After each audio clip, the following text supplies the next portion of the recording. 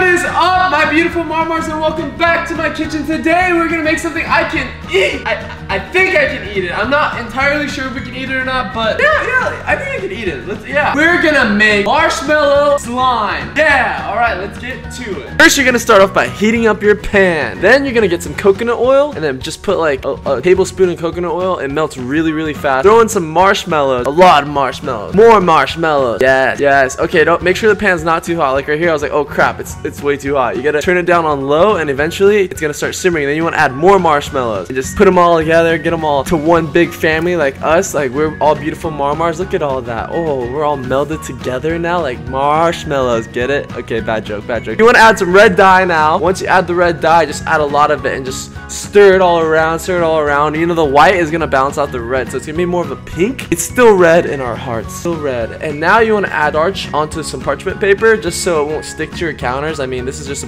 personal preference, but pour it on there now. So it's gonna help it be not as sticky, but it's still gonna be really sticky, you know. But oh, look at that. Look how it's just flowing so beautifully. Oh my gosh, uh, this pan is getting really heavy now. Oh my goodness. Uh, oh man. Okay, look at all this marshmallow slime. Yes, yes. Pour it in there. Oh, get in there. Come on. Okay, cool. Now that we have all our marshmallow onto the paper slash starch, we want to add more starch and just mix this bad boy up together. What the starch is gonna do is help the marshmallow be less sticky. I don't want to add too much starch because I want it to be very slimy still without it being like harder because the more starch you add, the thicker it's gonna get. I'm just trying to mix it together with these two ladles so it won't stick to my hand. You can actually put some starch on your hand and start mixing it together. It'll be less sticky. Still gonna get stuck to your hand eventually. Like, see, I can touch these pieces perfectly fine, but as soon as I find pieces without starch on it, it's gonna start getting stuck to me. So here we go. I'm just using my hand because, come on, it's way more fun to use your hands than some like paddle. So yes, look at that. Wow, wow. Look at that. Oh my goodness. I love just playing with slime. I don't know why. It's so satisfying. Okay, now it's starting to get stuck to me.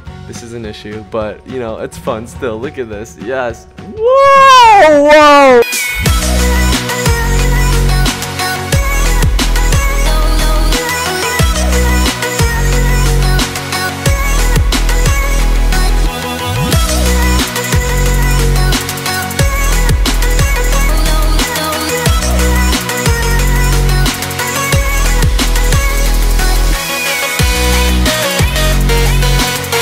Thing is so sticky.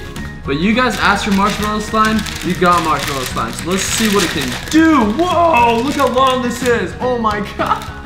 Marshmallow slime, I'm not gonna lie. Although it's not as less sticky as the foamy one, it is still awesome and fun to like play with. It's just that once you're in it, you get in it. Like you're not leaving. This is one of those slimes that's like once you're in there, you gotta play with it. It's forcing you to play with it. You have to play. Oh my gosh. My hands are just beyond stuck. That. Look at how stuck that is. Mmm, it's so sticky. I got something that's like stuck to my mouth and I can't unstick it. Mm. It'll be really awesome if I added some strawberry flavor to this marshmallow slime. Ooh, whoa. Look, it's so sticky and so. But here we go, guys. I'm gonna take a bite of marshmallow slime. Taste test. Here we go.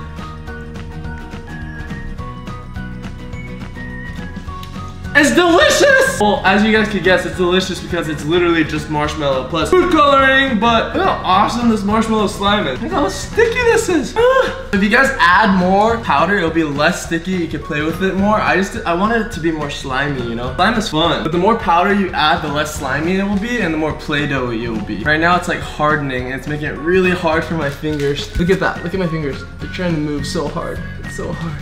Yeah. Mmm. It's really good though. If you guys like marshmallows like me, this is heaven and you can play with it. Like, it's so, it's getting, it's cooling down so it's getting harder to like rip apart. Oh, this is like a workout. Ooh. Yeah, yeah, yeah. Uh-oh, that's a bad idea. That's, oh man, that was a terrible idea. Oh no, now it's gonna be all around my wrist. Uh, I can't turn the camera off to wash my hands and say anything, so I'm just gonna end the video here.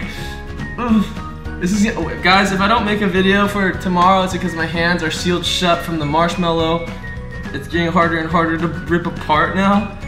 Uh-oh. Uh, uh, well, thank you guys so much for watching today's video. I hope you guys enjoyed me making marshmallow slime. I want to say thank you guys to all my beautiful Marmars for supporting me and being so nice to each other in the comments. Like, this is why I love being a YouTuber, honestly, is because I get to reply to you guys instantly. And the fact that my Marmars are so nice to new people that aren't even Marmars. And sometimes you guys are even nice to haters, like in a nice, like funny way. I cannot tell you guys how grateful I am to have a community like you guys. Like, there's a lot of YouTubers out there that have fans. They don't really have like a family like we do. And that's why I appreciate you guys so much. Like, I want to say thank you guys so much for subscribing. Everyone in the comments is like so nice, and that's what I want to put out there is that positivity, and that's the kind of Marmars I want out there, just positive Marmars. I don't want people saying like, hey man, I'm gonna do this to you, I'm gonna blah blah, blah and just leaving hate comments all the time. So like, I'm just so proud, and I just wanted to take a moment in this video to say that I know I don't really get to talk to you guys that much because I'm constantly making awesome DIYs. But I wanted to really let you guys know how I felt about that. If you guys want more Marmars in the family, continue liking and subscribing. Thank you guys so much. I just, I can't express how happy I am. I'll see you guys tomorrow. If I can open my fingers. Peace.